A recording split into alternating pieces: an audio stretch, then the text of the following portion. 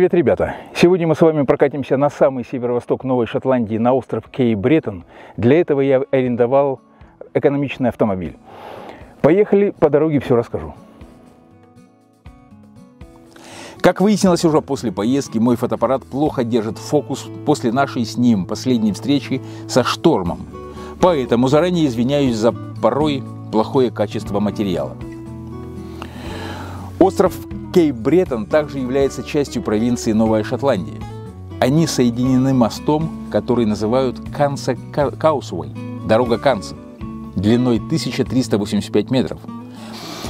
Это не будет праздная поездка. Мы едем туда, чтобы посмотреть интереснейшую лодку проекта Таяна 37 Pilot House.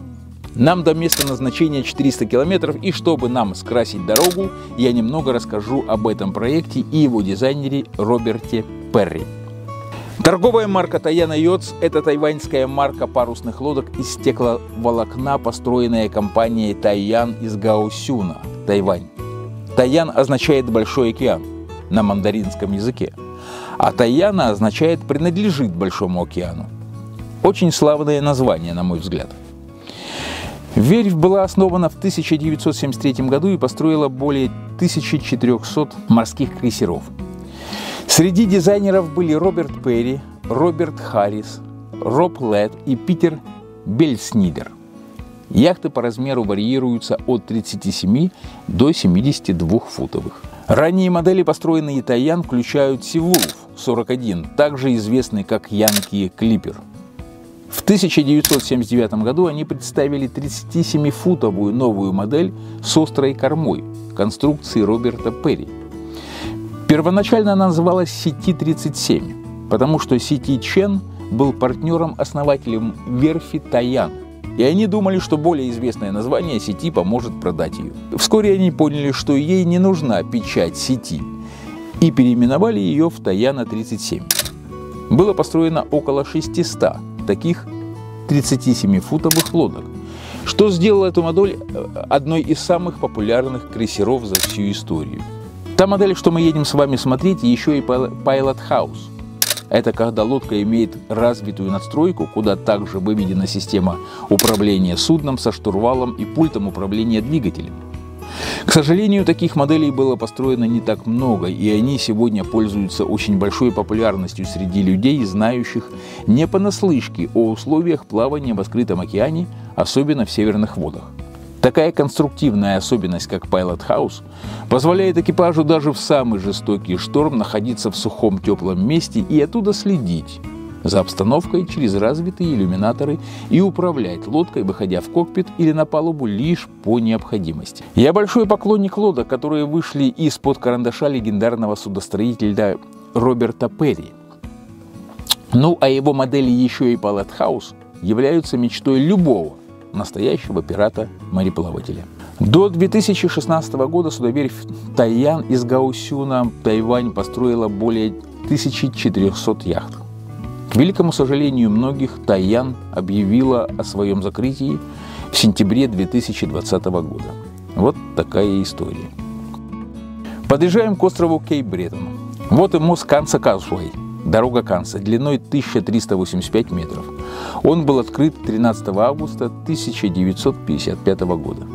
Первым европейцем, посетившим этот остров, принято считать итальянского мореплавателя и исследователя Джон, Джона Кэббота.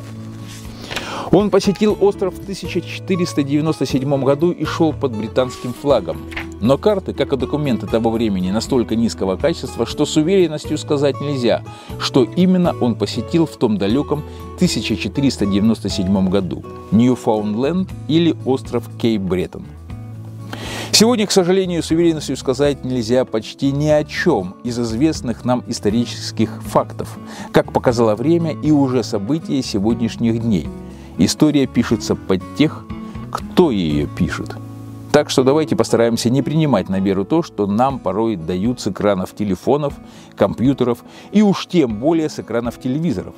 Как вы знаете, в любом государстве все телевизионные компании или государственные, или частные, но работают и вещают в интересах политики этого государства. Способность анализировать и думать, смотреть и видеть, слушать и слышать сегодня, на мой взгляд, являются основными качествами, от которых зависит ваша жизнь и жизнь ваших детей и следующих поколений. Решение, без сомнения, за вами. Наконец я нашел мастерскую и стоянку яхт. Меня встречал Петер. Мы с ним знакомы 12 лет, с момента встречи на Бермудах, когда я, пройдя первый этап своей кругосветки из Галифакса, наконец дошел до Сент-Джорджеса с внушительным букетом поломок. После двух недель штормов в зимней Атлантике. Через пару недель туда пришел 85-футовый, то есть 25-метровый бермудский кетч с импозантным названием «Wireless», Капитаном на нем был Петер, а его экипаж был из шести человек. Они пришли с тем же букетом поломок. Порваны паруса, вышел из строя главный двигатель и генератор, лодка была полностью обесточена. Пришли по ручному GPS и бумажным картам. Просили помощь и буксировку при заходе по ручной УКВ радиостанции. Мне же, как вы помните, пришлось активировать и ПЕРП, так как иного способа сообщить о себе у меня не было. Питер пригласил меня на ужин, где я познакомился с ним и экипажем. Их заинтересовал мой рассказ о том, как я умудрился дойти в одиночку, тогда как им в шестером пришлось для этого очень постараться. С тех давних пор мы с ним и поддерживаем отношения, и вот я с ним снова встретился. И именно у него на территории и стоит лодка, которую мне нужно посмотреть.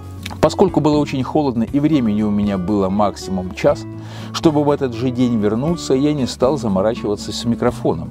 Поэтому я вам расскажу то, что мне удалось снять местами с плохим качеством, и расскажу за кадровым текстом о том, что мне удалось узнать. Вот и сама виновница всего этого приключения – лодка проекта Таяна-37 1978 года Pilot House. Полнокилевая –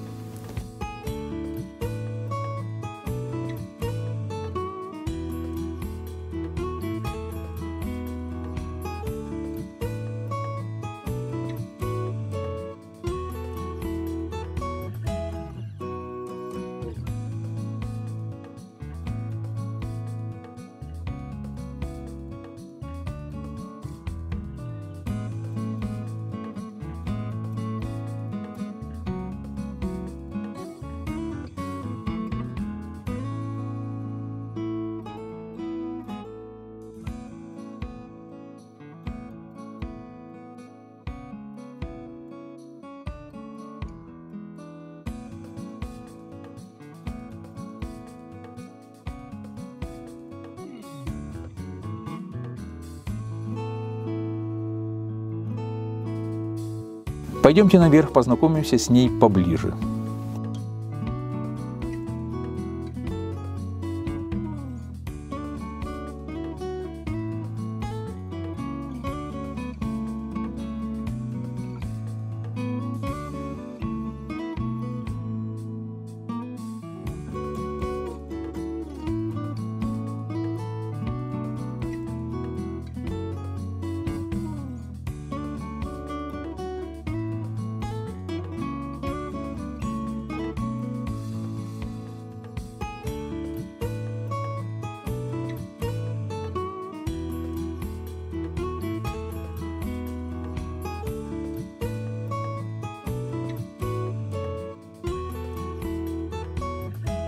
Бушприт Брашпиль.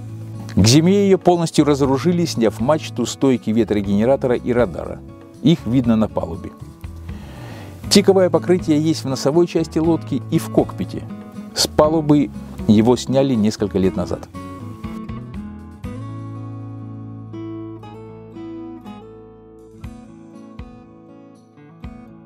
Достаточно большой удобный кокпит –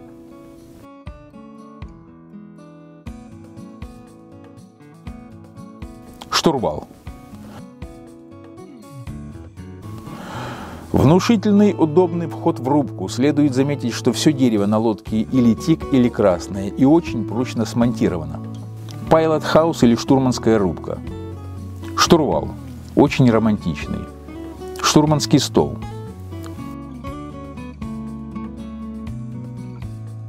Диван-койка по левому борту.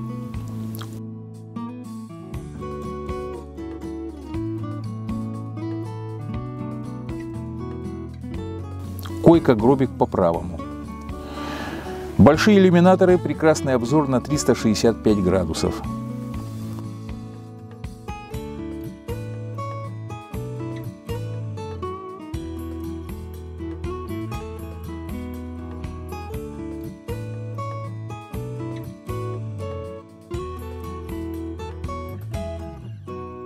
Двигатель под трапом. На ступеньку ниже находится нижний салон.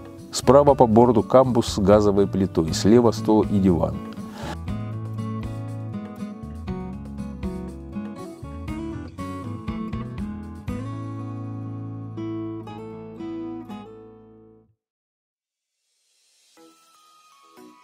Дальше в нос, слева по борту гальюн, прямо носовая каюта.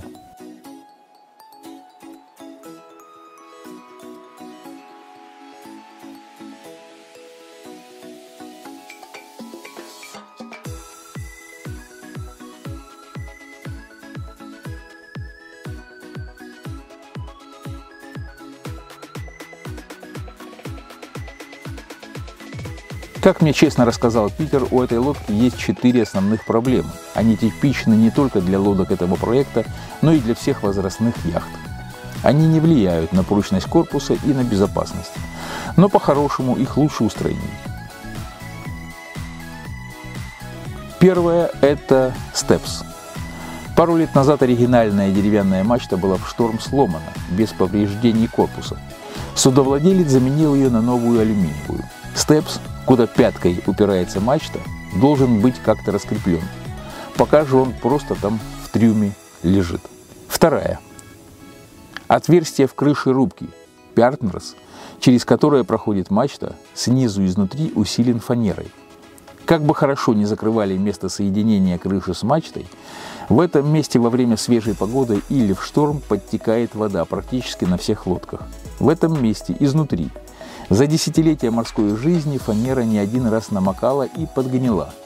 Следует снять декоративный подволок, вырезать подгнившую фанеру, вклеить новую и вернуть подволок на место. Третье, на мой взгляд, основная проблема. Крепление вант к корпусу, так называемые chain plate или вант путинцы. Снаружи это нержавеющая пластина прикреп прикрепленная к корпусу. У всех возрастных лодок есть эта проблема. В нашем случае деревянные брусы подгнили и требуют замены. Это, на мой взгляд, основная большая работа. И четвертая проблема – подтекание сальника в месте входа вала от редуктора в корпус двигателя. Показать не могу из-за сложного местонахождения. Вот такие правдивые новости о имеемых у лодки проблемах.